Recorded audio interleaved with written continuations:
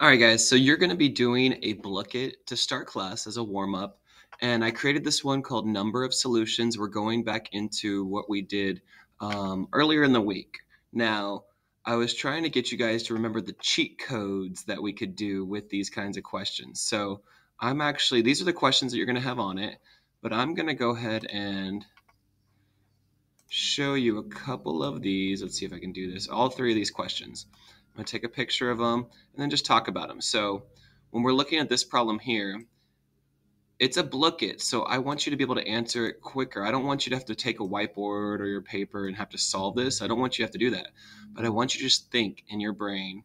Remember, if it's the same on both sides, like say this is 2x plus 1 equals 2x plus 1, if both sides are the same, remember I taught you guys that the answer is infinite solutions, right? Every answer would work for this one if both sides are the same. So that's kind of the cheat code. But if they're not both the same, say this was 10, but the variables are the same, but not the constants, then it's no solution. It doesn't work. So let me repeat myself one more time there if the variables are the same, right, and you look at these, you're like, yep, that's the same, that's the same, but the constants are not, then it's no solution. So looking at this first one, you do have to do a little bit of work. You have to combine your like terms. 2 plus 2, 4x, bring down the 3, 4x plus 3. Well, look at 4x plus 3 is also 4x plus 3. Interesting. They are infinite. What about this one? 4x, 4x, cool but 2 and 5 are not the same. So this is no solution. All right, what about this one? Same, same, no, they're not. Okay. Um, as you keep going through these, some of them may be one solution. This is one solution because if you subtract 3 from 5x, you're going to get 2x. Subtract 2 from 1, you're going to get 1. Okay, 2x equals 1. So understand that there are going to be different answers here. So this is your warm up. After you do your warm up, so this one's kind of tough, right? 3x times 3 is 9. So 3x plus 9, 3x plus 5, the variables are the same, but the constants are not. So that's no solution.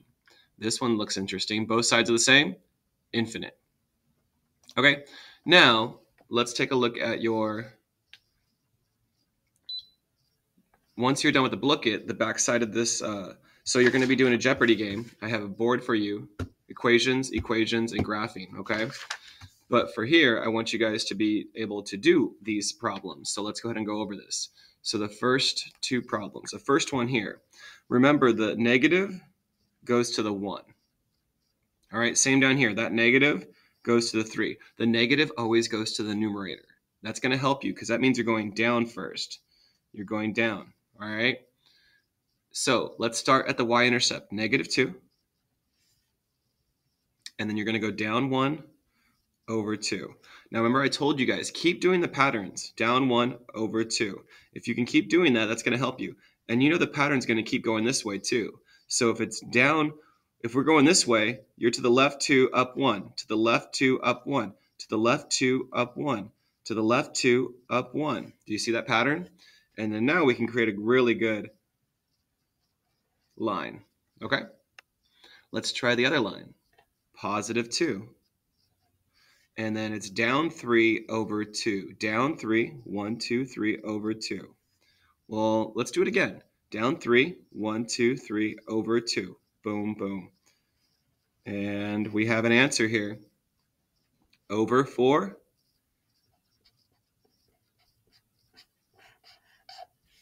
Over four, down four, right? So over to the right four, down four. And there's your answer there. Let's do this one real quick. Why don't you guys try this on your own? Negative 3, up 1 over 3. Now, if you kept doing this, this is to the left 3, down 1. Do you see the pattern? To the left 3, down 1. Could you do that same pattern again? To the left 3, down 1. All right, there's the first line. And what about this one? Positive 1. And what is this? What's negative x? That negative 1x, which actually means negative 1 over 1, which means you're going to go down 1 to the right one down one to the right one, down one to the right one, down one to the right one, down one to the right one, down one to the right one. And you can see pretty quickly that it's going to go over 3, down 2. Boom. All right, there's your answer there. All right, let's look at the equations. Why don't you take a second, try this one on your own? If it helps you, put it as a 1. If this is a 1x, you got to move it over here, letters to the left. Subtract 1x. I get 2x plus 4 equals 10. And then subtract 4. I get 2x equals 6. All right, divide 2. x equals 3. All right. What about this side? Distribute. We get 8x plus 10 equals 4x plus 10 plus 2x. All right, this one's a little different. Letters to the left. Oh, hold up, hold up, hold up. No. What's your first step? Look at these. Do you see they're on the same side? I almost messed up there. So combine like terms. It's 4x plus 2x equals 6x. Then letters to the left equals 10. Then from here, subtract 10. This is a little different. All right, this equals 0. Now, 2x equals 0. This is not a 0x, so it's not going to be no solution or infinite. This is not no solution or infinite. But let's read the sentence like a math problem. 2 times a number equals 0. What times 2 equals 0? The answer is 0. Does that work? If I put 0 here, 0 times 2 equals 0, and that checks out.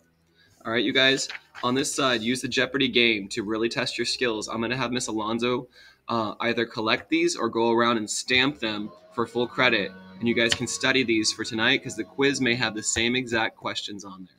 Show all your work here and here, you guys. Do the best you can.